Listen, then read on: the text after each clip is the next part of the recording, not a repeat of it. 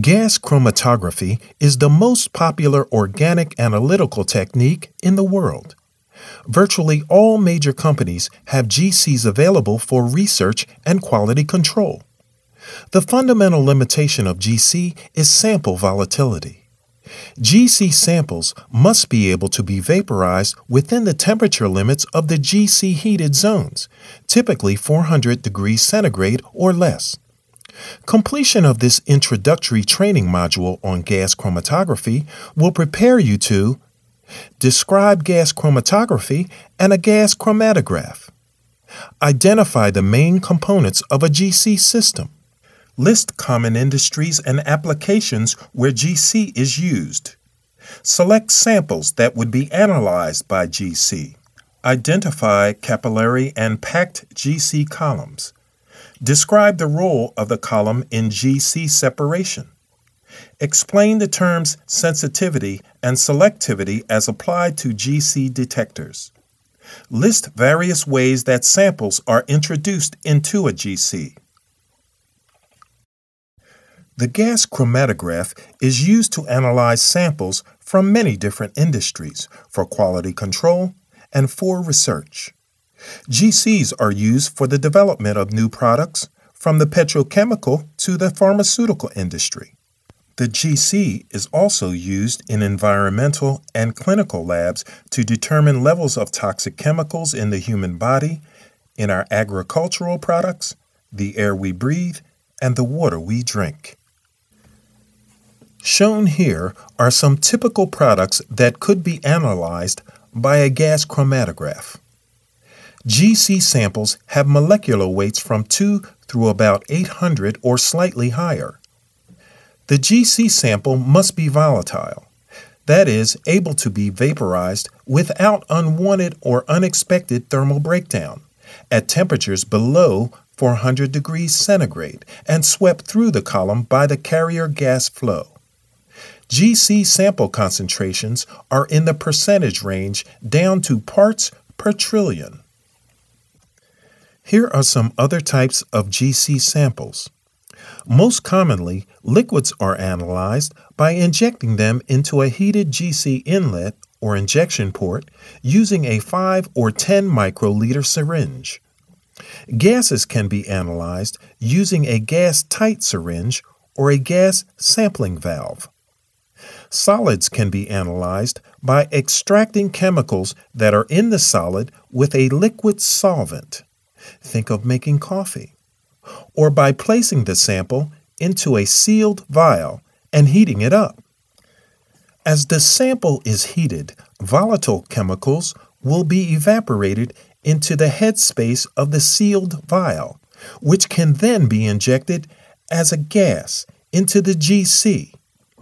Think of how you smell chemicals in a new car that has the windows closed and is sitting in the sun the car has become a huge headspace vial, and your nose is the detector. When injecting liquids, the speed at which the liquid enters the heated GC inlet is important. The liquid must be injected out of the syringe before it is heated and evaporates from the syringe needle. Otherwise, variable amounts of sample will make it onto the column. The need to inject quickly into the hot inlet has led to the importance and ubiquity of autosamplers. Using an autosampler allows for up to 150 samples to be analyzed automatically and to ensure that exactly the same amount of sample gets injected every time. There are five primary components to a GC system carrier gas from a pressurized cylinder or a gas generator. Typical carrier gases are helium, hydrogen with safety precautions, and nitrogen or argon. The gas must be very pure, greater than 99.9995%. The carrier gas carries the sample through a GC column where it is separated into individual components of the sample mixture. Sample introduction. The most common method is to inject 0.2 to 3 microliters of liquid into a heated injection port using a syringe. The requirement for GC samples is that they must be able to be vaporized in order to be carried through the GC column. Column. The column is the heart of the GC. It contains a very viscous liquid called a stationary phase that is used to separate the sample by virtue of solubility and boiling point. The column is temperature controlled in an oven. Detector. After the sample is separated, it exits the column into one of many different types of detector where the amount of sample present in the original sample mixture is measured.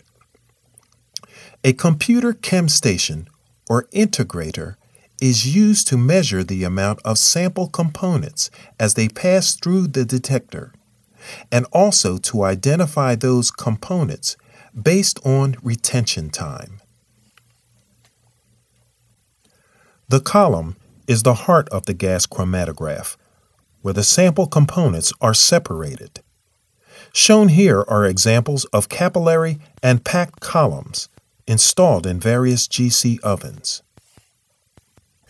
The entire GC analysis cycle can be divided up into five steps.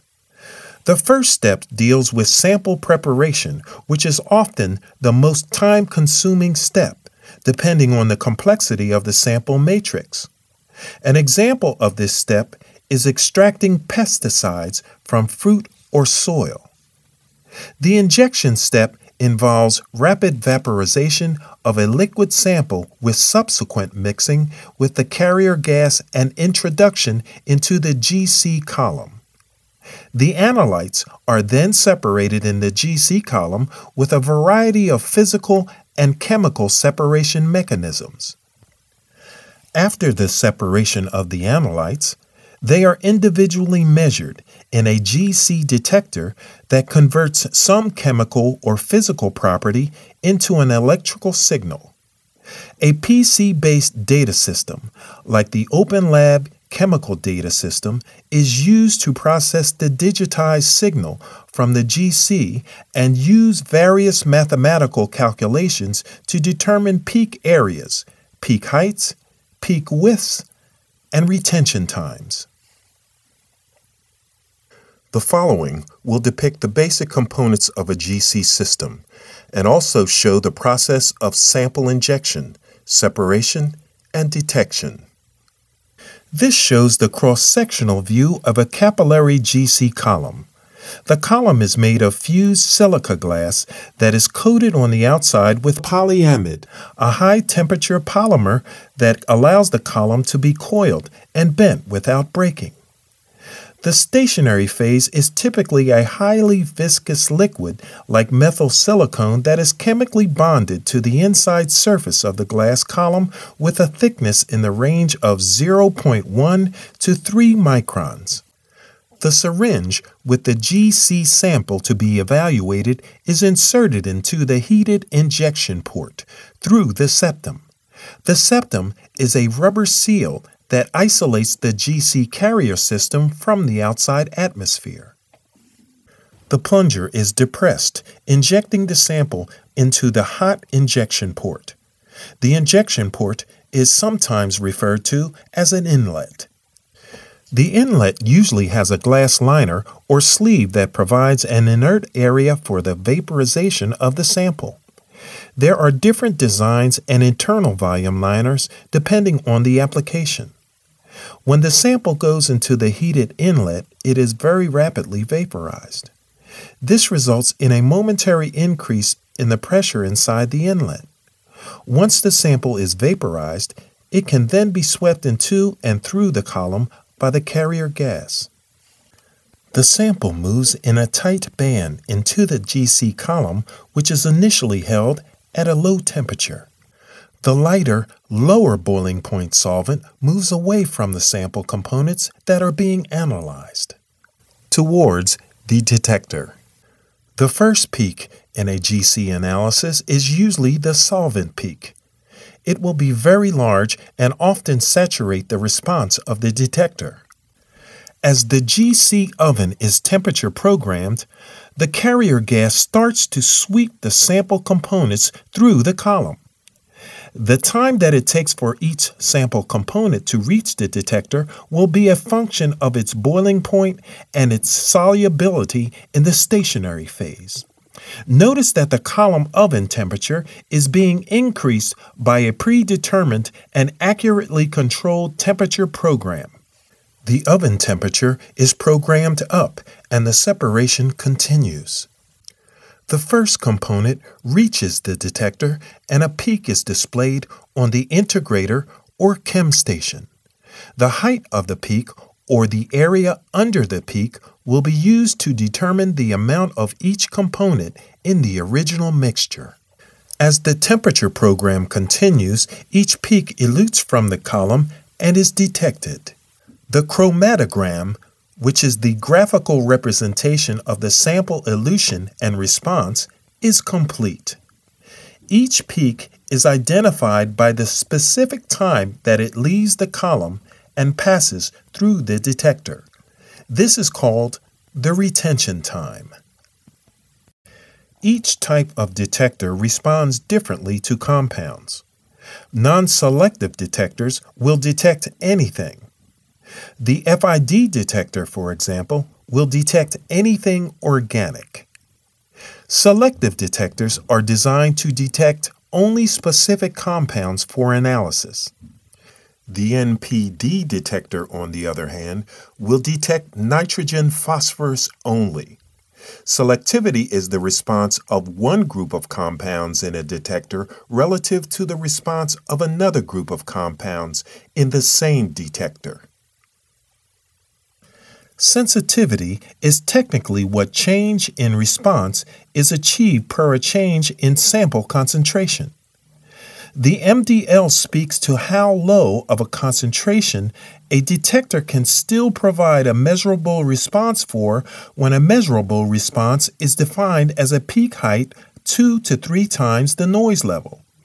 This is a graph that depicts the detection limit and the dynamic range for each of the more common GC detectors.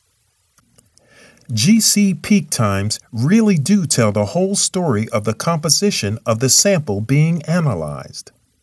A typical chromatogram is shown. Retention times are used to identify the components in a mixture by comparing sample peak times to known reference standard peak times.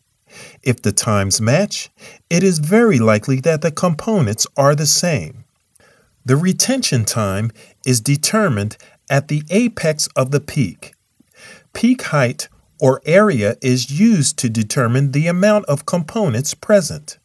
Standards of known amounts of the components can be used as a reference in a calibration procedure to produce quantitative results that report the amount or concentration of each calibrated peak.